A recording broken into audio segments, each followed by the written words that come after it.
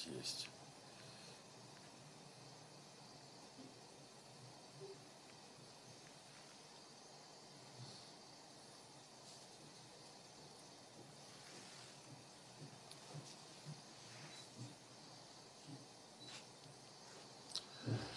Я вас приветствую, дорогие друзья. Васалут Стимас Приедень. А, Сегодня несколько тем, которые хотелось бы с вами обсудить и вас проинформировать о некоторых изменениях. Все вы знаете о том, что, вернувшись в Молдову в 2014 году, а, я увеличил количество благотворительных проектов. Проектов на самом деле было реализовано очень много. Сначала я занимался этими проектами как физическое лицо, и хочу вам сказать, что этим я занимался всю свою сознательную жизнь. С тех пор, как у меня появились какие-то минимальные возможности. В 2015 году я стал учредителем благотворительного фонда, фонд, который все, это, все эти годы а, помогал людям. Это фонд Рената Усатова.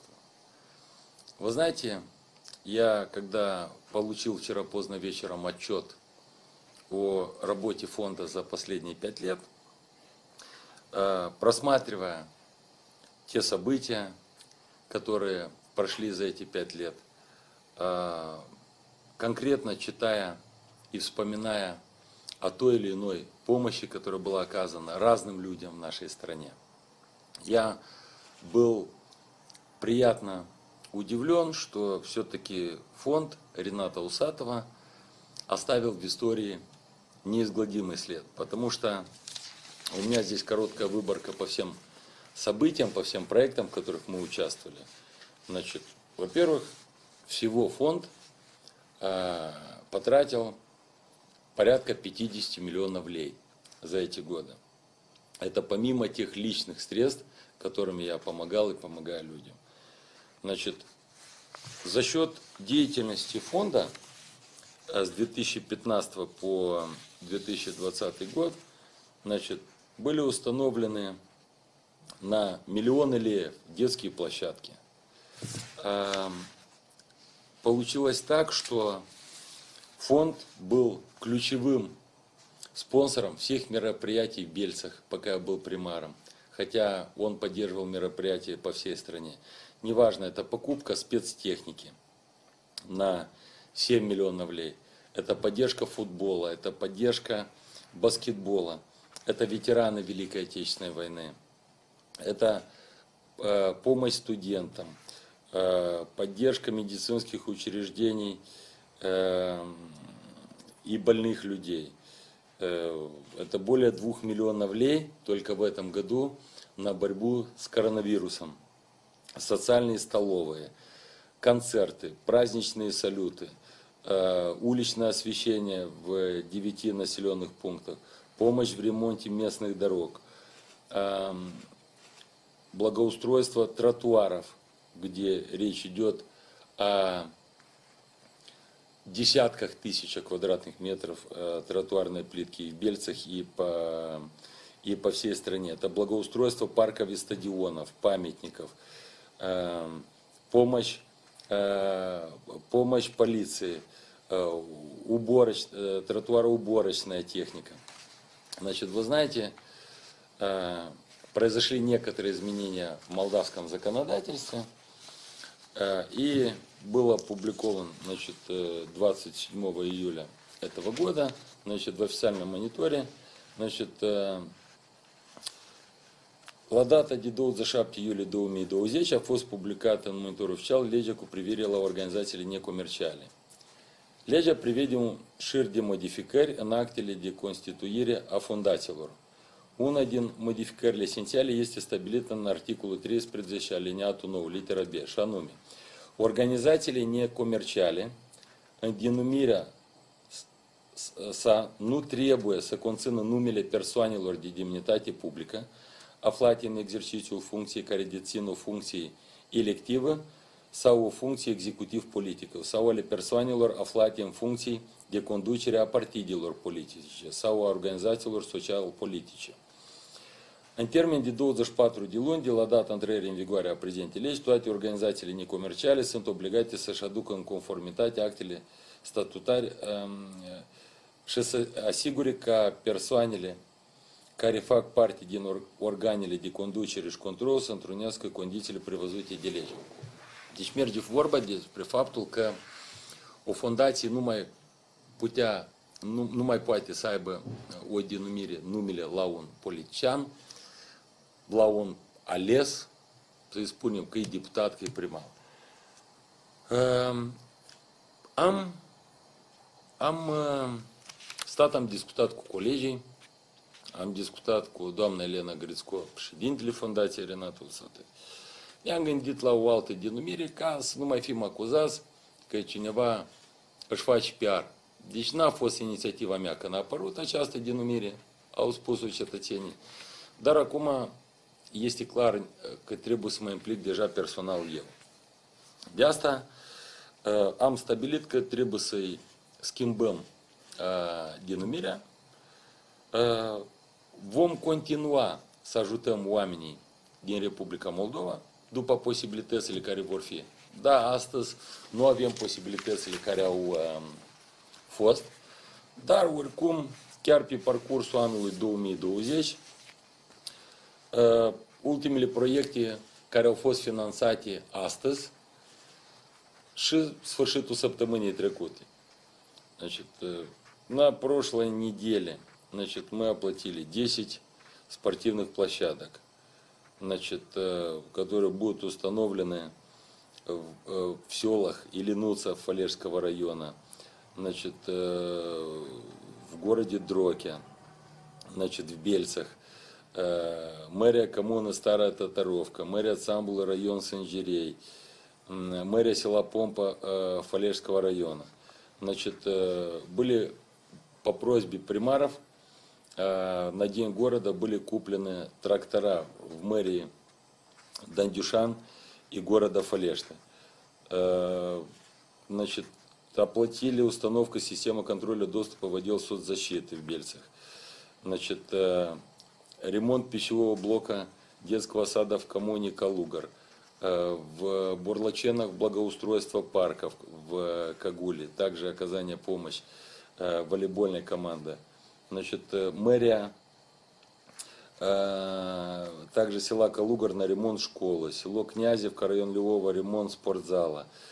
Значит, тротуарная плитка для парка в муниципе Белти, то, что касается набережной городского озера, значит, 1 миллион лей был выделен. Также тротуарную плитку попросили следующие коллеги-примары. Это Фалешт, село Ленуца, Фалешт, города Рыжканы, Кантемир, Вулканешты, село Дизгенжа в Гагаузии. Значит, э, значит, э, и многие другие проекты. Значит, специально, чтобы нас не обвиняли в том, что каким-то образом фонд участвует в той или иной предвыборной кампании – я всегда был против этого, несмотря на то, что нас иногда обвиняли в том, что мы там э, перечисляли какие-то деньги в предвыборную кампанию. Никогда э, фонд Рената Лусатова в предвыборную кампанию ничего не оплачивал. И это является броней и спекуляцией. Но так как мы привыкли быть транспарентными, привыкли и всегда соблюдали закон, Значит, мы вынуждены поменять название фонда согласно действующего законодательства. Ну, переживают они за фонд Рената Усатова. Ну, окей, мы поменяем название, значит, поэтому мы подготовили обращение в Министерство юстиции. И э, я предложил название фонда, с которым это лозунг, это лозунг моей жизни, всей моей жизни. И мы решили, что наш благотворительный фонд будет называться «Сила в правде».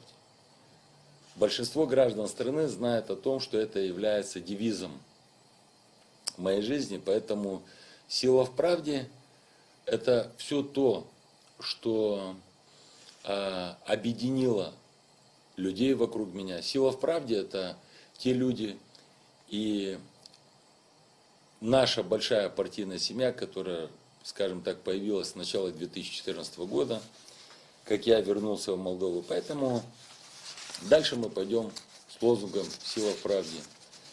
Не только по жизни, а мы пойдем с ним, с этим же названием нашего э, благотворительного фонда. Значит, э, ввиду того, что значит, 25 августа было заявлено, а именно завтрашнего дня, что страна, в стране начинается период э, предвыборной, период предвыборной кампании, поэтому именно в пятницу, субботу, сегодня в понедельник мы и реализовывали все эти проекты для того, чтобы успеть.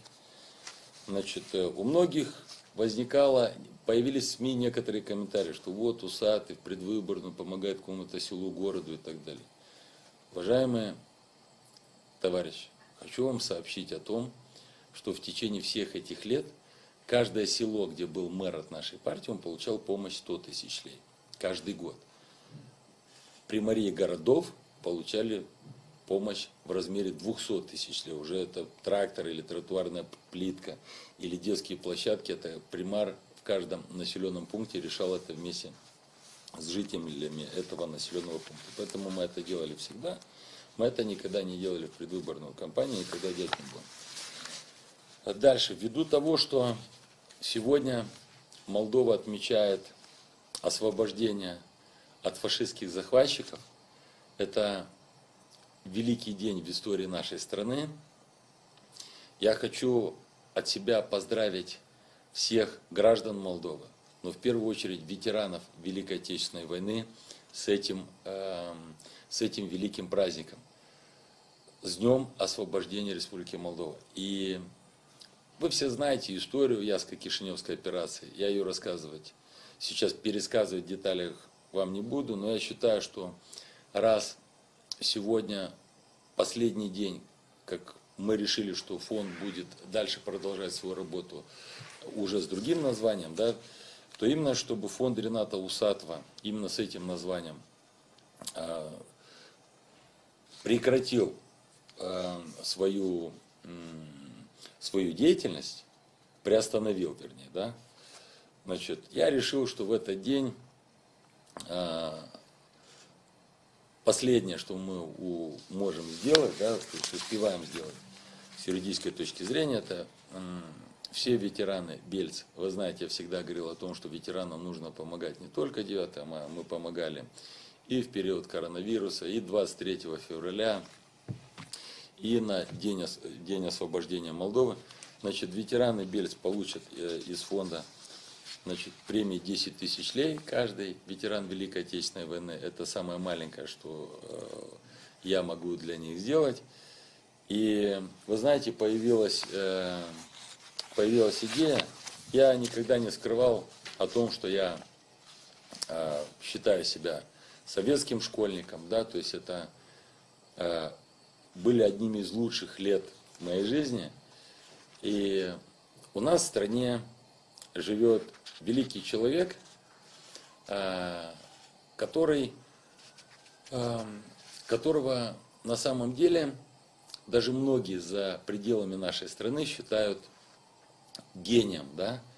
Это э, человек, которого зовут, великий человек, не постесняйся это сказать, зовут его Николай Гибу. Николай Гибу это человек, который э, сделал все не просто для развития молдавского кинематографа, но самое главное, что он сделал, он сделал так, что о Молдове в хорошем смысле слова узнали, узнали за, за, за ее пределами. И в этот день этот человек, слава Богу, живет. Значит, э, все выросли советские дети на кодовом названии «Южный гром». И в этот день, значит, э, как э, проект фонда Рената Усатова еще сегодня, значит, я принял решение для себя выделить 100 тысяч лей Николаю Гибу, потому что это человек, который не просто внес огромный свой вклад в развитие молдавского кинематографа, а это человек, этот человек продолжает работать в том числе и сегодня. У нас привыкли к тому, что начинают с грустными лицами всегда приходить на могилы или к памятникам тех людей, которые ушли из жизни. Но при жизни очень многих, к сожалению, забывают. Поэтому вот последние проекты фонда Рената Усату, это вот помощь ветеранам Великой Отечественной войны в Бельцах, примар в городе, мэром которого я являюсь. И я сейчас в ближайшее время хочу э, приехать к Николаю Трофимовичу Гибу, от всех жителей Молдовы сказать спасибо за его творчество и с вашего разрешения его поздравить этого, еще раз не постесняюсь повторить, великого человека. Поэтому примерно так. Значит, э, как я говорил, мы будем продолжать работу, мы будем продолжать идти вперед. И фонд назывался все эти годы фондом Рената Усатова. Сейчас фонд будет называться «Сила в правде». Главное, не как он называется, главное, что он сделал до сих пор для людей и что он будет продолжать, что он будет продолжать делать дальше. Эм, очень много вопросов поступает касаемо 27 августа, того, что многие граждан нашей страны и в Молдове, и которые находятся в Молдове за ее пределами, выходят э, с призывом, чтобы я выдвинулся кандидатом президента. Вы знаете, я говорил о том, что 27 августа, в День независимости, будет э, большая пресс-конференция. Я сейчас хочу э, э, первое, что отметить, что да, 27 августа э, в 21.00 на площади муниципи Белс значит, будет э, моя пресс-конференция. Значит, это площадь Василия Александрии, бельчане знают это место, мы всегда там проводили все свои мероприятия. Значит, я выйду на пресс-конференцию по тема, которая будет э, возможное участие в президентских выборах в этом году. Но самое главное другое. В честь освобождения Молдовы от захватчиков, в честь Дня независимости, у нас в Бельцах в 21.00 27 августа будет праздничный салют. Мы не можем проводить концертов, мы не можем проводить все тех мероприятий, которые проводили раньше, поэтому если в каждый вечер в Бельце гуляет очень много бельчан, и после того, как одни приезжают с моря и ездят по стране, не буду назвать их фамилии, вы понимаете, о ком я говорю, э, после того, как, эм, после того, как кто-то имитирует там борьбу с коронавирусом, я думаю, что праздничный салют в честь успешной проведенной Яско-Кишиневской операции, в честь освобождения Молдовы, в честь Дня независимости Республики Молдова, я думаю, точно никак не отразится на чьих-то мерах борьбы с коронавирусом. И как примар Бельца, также в ближайшие дни подумал вопросы, смотрю, какой сумасшедший дом происходит по всей стране. Сначала были закрыты тиры, кто-то пытался закрыть бассейны. Э, сегодня люди не могут приходить на стадионы заниматься спортом. То есть полные террасы людей, полные заведения. Люди летают на море. До дом, чтобы не уйти в изоляцию после отпуска на две недели. Придумали они на то, что для себя придумали, не для людей, то не нужно находиться в самоизоляции на 14 дней по возвращению в Молдову. Поэтому мы поднимем вопрос и о Бельском стадионе на заседании местной комиссии. Значит, потому что там люди не целуются, не обнимаются, не сидят рядом друг с другом, как в барах, ресторанах или на шезлонгах. Они просто там бегают. Поэтому а, значит, я подумал этот вопрос, хотя лучше, конечно, чтобы это решила а, национальная комиссия. Поэтому, дорогие друзья, с Днем Победы 21, 27 августа в 21.00 приглашаю бельчан на пресс-конференцию, на праздничный салют – а, нас ждет очень сложный период, но я уверен, что мы его пройдем с высоко поднятой головой и сделаем все для того, чтобы Молдовой гордились те, кто за нее отдали жизнь, те, кто в ней живет и работает сегодня, те, кто, оставив свои семьи, пашут за рубежом, Потому что nаш сегодня это основной, nаш, это nаш сегодня основной dolg перed Moldovei. Eu um, vreau să menționez faptul că noi intrăm în perioadă foarte grea. Intrăm într-o perioadă chiar foarte dificilă, nu grea. Și astăzi cetățenii din Republica Moldova au nevoie de o schimbare. Au nevoie de o schimbare în absolut tot. Și de asta, din, anume din aceste motive, stimați prieteni, noi astăzi trebuie să fim uniți, trebuie să facem tot posibil, ca cum am menționat, ca toți cetățenii care muncesc în Republica Moldova, locuiesc, cei care se află în diaspora, toți cei care și-au pierdut viața pentru Republica Moldova, să se mândrească de faptele noastre. Vă iubi